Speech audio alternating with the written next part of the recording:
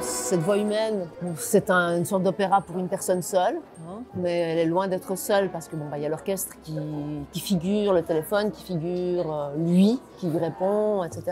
Mais moi, je suis pas euh, sur scène, je suis euh, à côté de la scène. Je lis la partition et puis euh, je donne des tops aux autres personnes de la technique pour euh, qu'il se passe des choses, genre des lumières qui s'allument ou des objets qui se déplacent ou des décors qui se changent, par exemple.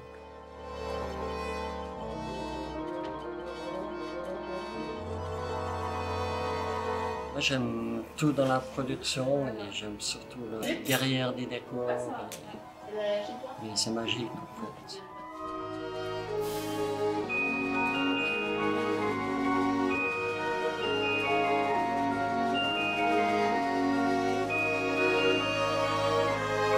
Il y a 20 minutes de pause où on a le temps de respirer un bon coup, de boire un peu et puis de, puis de se dire qu'à quelque part, euh, maintenant on a envie de rire. Quoi. Moi, c'est Torquemada. Et moi, je suis Ramiro. Donc, je suis horloger puisque c'est ma boutique.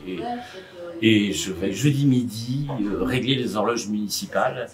Et ma femme en profite pour euh, changer de mari ou, s'occuper avec des amants. Et il se trouve que ce jour-là euh, arrive un muletier qui me donne sa montre à réparer et qui reste dans la boutique quand je pars. Et ce qui fait que ma femme est bien embêtée parce que elle ne peut pas euh, visiter ses amants. À montre à chaque instant s'arrête. Voilà qui va d'un mieux. Voilà qui va d'un mieux.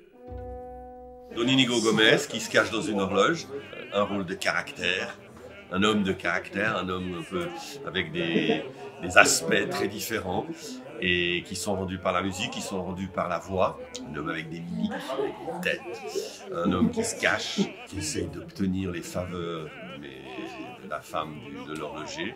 It's great to be back in Fribourg again. I was here this time last year for another production, another Christmas production, but this is feels a bit more Christmassy. It's a fantastic opera. It's an amazing story that, even though 100 years old, still is relevant to today, and that's opera at its best.